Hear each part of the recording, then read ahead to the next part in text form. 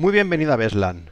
Muchos de mis suscriptores me suelen preguntar qué le hago a mi PC nada más instalar Windows 10 o Windows 11 para optimizarlo y obtener el máximo rendimiento. Pues bien, esto es lo que vamos a ver en este tutorial. Te voy a enseñar todo lo que suelo hacer yo para tener un sistema operativo Windows 10 o Windows 11 optimizado y obtener un buen rendimiento. Pero antes déjame hablarte de casefan.com. Si estás buscando licencias baratas de Windows u Office, debes visitar esta web. Además, por ser seguidor de canal tendrás un 62% de descuento en cualquier licencia de Office y otro cupón de descuento del 50% para cualquier licencia de Windows. Pero es que además, si quieres ahorrar mucho dinero, tendrás un cupón de descuento del 62% para los packs de Windows más Office, donde realmente te sale el sistema operativo Windows totalmente gratis. Tendrás todos los enlaces y los cupones en la descripción del vídeo. Bien, comenzamos con el primer paso y lo que debes hacer tanto en Windows 10 como Windows 11 es clicar en inicio y escribir ejecutar. Automáticamente nos aparecerá el sistema de ejecutar, hacemos clic aquí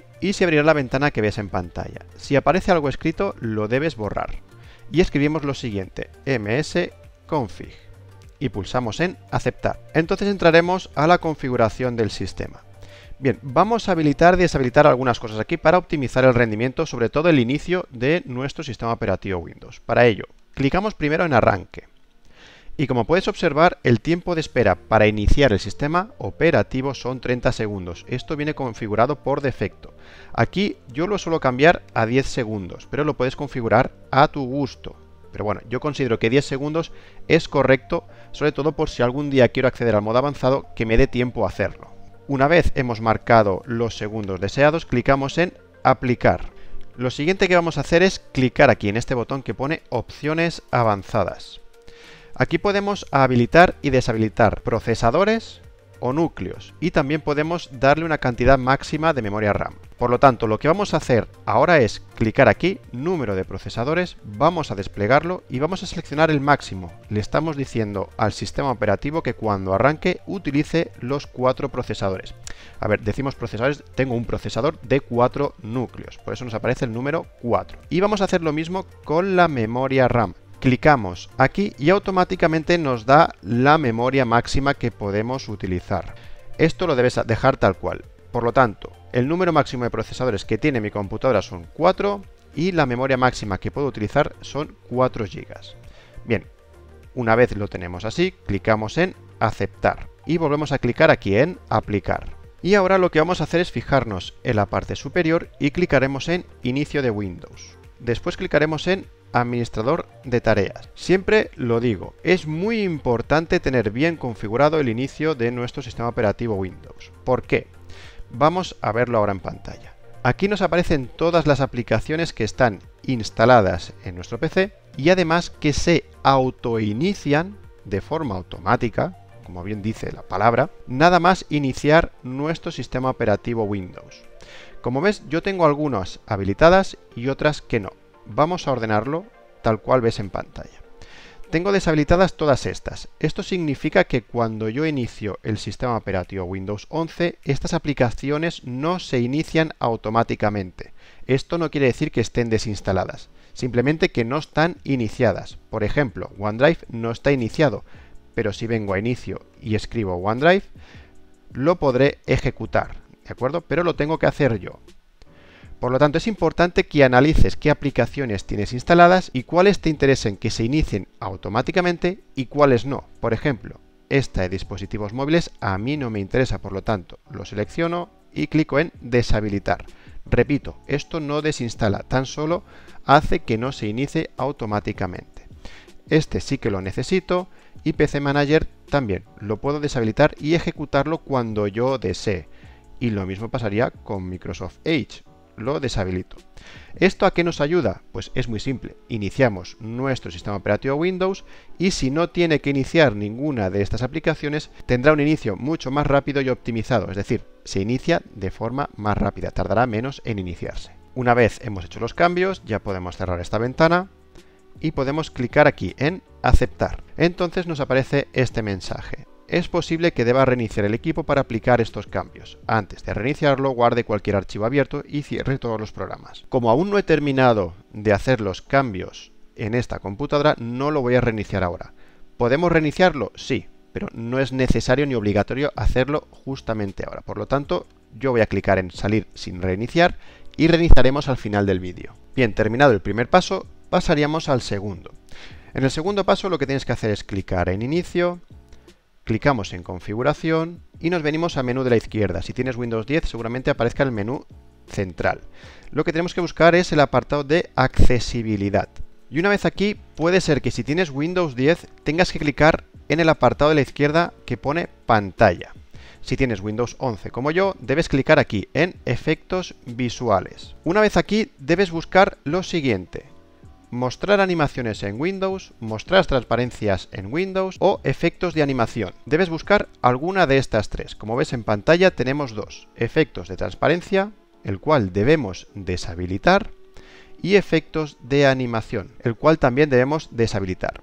¿Lo podemos dejar habilitado? Sí, pero esto consume recursos. Entonces debes elegir entre rendimiento o tener un sistema operativo con muchos efectos bonitos. En Windows 10 seguramente te aparezca como mostrar animaciones y mostrar transparencias, las cuales yo suelo deshabilitar. Pero como he dicho, en mi caso yo siempre prefiero tener rendimiento. Ahora ya podemos cerrar aquí y volvemos a clicar en inicio, configuración y buscamos el menú de aplicaciones. Y una vez aquí vamos a buscar aplicaciones instaladas. En Windows 10 seguramente te aparecerá como aplicaciones y características. Aquí podemos ver todas las aplicaciones que están instaladas en nuestro PC. Puede ser que necesites todas o puede ser que no. Te recomiendo que las revises. Si ves alguna aplicación que no es necesaria, mi recomendación es que la desinstales. ¿Cómo se desinstala? Clicamos en los tres puntitos y después clicamos en desinstalar. Nos saldrá un aviso conforme se va a desinstalar, le decimos que sí, desinstalar, y ya la tendríamos desinstalada. Te recomiendo que hagas una revisión y todas aquellas aplicaciones que no utilices, desinstálalas. Así liberas espacio y limpiamos nuestro PC con lo cual también contribuye a un mejor rendimiento y optimización del sistema operativo Windows 10 o Windows 11. Una cosa que se me estaba olvidando es que debes saber que muchas aplicaciones que aparecen aquí ya vienen preinstaladas con el sistema operativo. Esto se considera bloatware. Por lo tanto, contra menos bloatware podamos tener en nuestra computadora, menos servicios estarán en ejecución y mucho más rápido va a funcionar. Hecho esto, lo que vamos a hacer ahora es clicar aquí a la flechita hacia atrás y nos vamos a ir a buscar el apartado de privacidad y seguridad. Por cierto, que no se te olvide suscribirte, activar la campanita, dale a like o dislike si te gustan este tipo de vídeos y si consideras que este vídeo le puede ayudar a alguien, no olvides compartirlo, ¿de acuerdo? Dicho esto, cuando ya estamos dentro de privacidad y seguridad, vamos a clicar aquí donde pone general. Y yo te recomiendo que de las cuatro que ves aquí, las cuatro opciones, las deshabilites todas. Como ves, todo esto es telemetría pura y dura, por lo tanto, deshabilitado. La telemetría coge información que está en nuestra computadora, coge información de cómo nos comportamos y cómo utilizamos nuestro sistema operativo y se la envía a Microsoft. Por lo tanto, está consumiendo recursos. Si consume recursos, nuestro PC va a funcionar más lento. Entonces, mi recomendación es que esté todo deshabilitado. Una vez configurado esto, volvemos hacia atrás y ahora volvemos a clicar aquí en Aplicaciones. Clicamos en aplicaciones instaladas y lo que te sugiero es que revises si estas aplicaciones se están ejecutando en segundo plano. ¿Cómo lo podemos comprobar? Muy fácil. Por ejemplo, vamos a seleccionar cámara.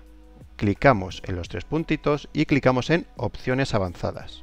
Ahora vamos a bajar y aquí tenemos permisos de aplicación en segundo plano. Potencia optimizada recomendado. Es lo que está marcado. Si lo desplegamos, lo que tenemos que hacer es clicar en Nunca para que nuestra cámara no se ejecute en segundo plano. ¿Qué pasa? Que si tenemos aplicaciones ejecutándose en segundo plano, significa que están en ejecución y no nos estamos dando cuenta. Por lo tanto, también están consumiendo recursos y están haciendo que nuestro PC funcione más lento. Esta tarea sí que puede ser un poco tediosa, pero te sugiero que la revises, ya que puede ser que muchas aplicaciones de estas que se están ejecutando en segundo plano estén haciendo que tu PC vaya muy lento y sea quizás el problema que tienes con tu PC relacionado con el rendimiento. En Windows 10 es más sencillo, ya que en el apartado de la izquierda tenemos en el menú una opción que pone aplicaciones en segundo plano y podemos habilitar o deshabilitar. En Windows 11 se hace como has visto ahora mismo. Cuando hayas completado esto ya podemos cerrar aquí y pasamos al paso número 3. Ahora lo que vamos a hacer es venir al apartado de búsqueda o clicar aquí en inicio y escribir rendimiento. debes encontrar esta opción, ajustar la apariencia y rendimiento de Windows, y hacer clic aquí. Y se abrirá la ventana que ves en pantalla. Como ves, está marcado dejar que Windows elija la configuración más adecuada para el equipo, es decir, en función de los procesadores, la memoria RAM, si está funcionando lento está funcionando más rápido, él automáticamente te va a marcar y desmarcar estas opciones de aquí. Comentarte contra más opciones tengas marcadas, más efectos visuales vas a tener, más lento va a funcionar. Obviamente si tienes un PC de bajos recursos, mi recomendación es siempre tener el mejor rendimiento. Esto contribuye a que tengas un sistema operativo un poquito más feo. Si tienes un PC de alto rendimiento, puedes dejar la primera opción, pero si lo que te interesa también es obtener el mayor de frames por segundo, también te recomiendo que dejes marcada esta opción, ajustar para obtener el mejor rendimiento. También lo puedes personalizar clicando aquí, marcar todas aquellas que te interesan y aquellas que no, dejarlas sin marcar. Una vez hayas seleccionado uno de estos planes, puedes clicar en aplicar y verás que automáticamente verás algunos efectos que desaparecen. Por ejemplo, ya no tengo las sombras debajo de estas letras y visualmente ha cambiado un poco, pero a cambio no estoy consumiendo recursos. Una vez lo tengas configurado, podemos cerrar aquí y ahora vamos a clicar en inicio y vamos a buscar desfragmentar y optimizar unidades. Y hacemos clic aquí. Comentarte que esta opción es buena siempre y cuando no tengas una unidad SSD o unidad M2. Si tienes un disco duro mecánico, sí te recomiendo hacer este paso. Lo primero que te sugiero es que cliques aquí, cliques en analizar para ver cuánto de defragmentado tienes el disco. En cambio, para unidades SSD y unidades M2 no es recomendable, ya que este procedimiento puede dañar tu unidad SSD, es decir, vas a tener menos ciclos de lectura y escritura, por lo tanto significa que tu unidad SSD o M2 se acabará estropeando mucho antes. Por lo tanto, no te recomiendo utilizar este método si tienes un disco de este tipo. Y ahora tienes dos opciones, esperar a que esto termine o en cambio podemos cerrar y esto en segundo plano se va ejecutando hasta que llegue al 100%. Y ahora por último vamos a ver lo referente al uso de disco duro. Para ello clicamos en Inicio, Configuración, después clicaremos en Sistema y vamos a ir bajando hasta encontrar el apartado de Almacenamiento. Mi recomendación es siempre tener un disco duro o unidad SSD lo más limpio posible. Para ello tenemos una herramienta muy fácil de utilizar, que es el sensor de almacenamiento. Como ves, está activado. Clicamos aquí. El sensor de almacenamiento lo que va a hacer es lo siguiente. Limpiará el disco duro de archivos antiguos, grandes, innecesarios, actualizaciones, archivos temporales, etc. Y lo va a hacer de forma automática siempre y cuando lo tengamos activado. Aquí podemos configurar cada cuánto se va a ejecutar. Yo lo tengo configurado semanalmente. Además tengo marcado que elimine archivos de la papelera de reciclaje cada 14 días. Y después, esto es opcional, ya que muchas veces descargamos algún programa de alguna web, eh, algún vídeo, fotos y los dejamos en descargas. Y aquí pone, eliminar archivos de la carpeta de descargas si no se han abierto durante más de yo tengo nunca, porque no quiero que lo borre, pero lo puedes configurar de un día, 14 días, 30 días o 60 días. Esto ya depende de ti, ¿de acuerdo? Ya que suelo guardar bastantes cosas en la carpeta de descargas y después suelo ir a buscarlas al cabo del tiempo. Una vez lo tengas configurado, puedes clicar aquí en Ejecutar sensor de almacenamiento. De este modo nos ahorramos hacer limpieza nosotros manualmente. Lo va a hacer el sensor de almacenamiento eliminará cualquier archivo temporal, de sistema, actualizaciones que ya se han hecho y ya no se están utilizando, la papelera y en su defecto de la carpeta de descargas. Es una herramienta muy fácil de utilizar y que recomiendo que la dejes configurada. Si volvemos para atrás podemos ver además las aplicaciones instaladas, los que está consumiendo, otros y archivos temporales. Podemos hacer limpieza nosotros manualmente, clicando aquí, marcando aquellas opciones que nos interesa eliminar y después clicando en quitar archivos y después clicamos en continuar. Pero como he dicho, si tienes el sensor de almacenamiento configurado, esto no lo tendrás que hacer tú manualmente, se hará automáticamente, lo cual es una ventaja. Pues muy bien, esto sería todo. Esto es lo que yo suelo hacer nada más instalar un sistema operativo Windows.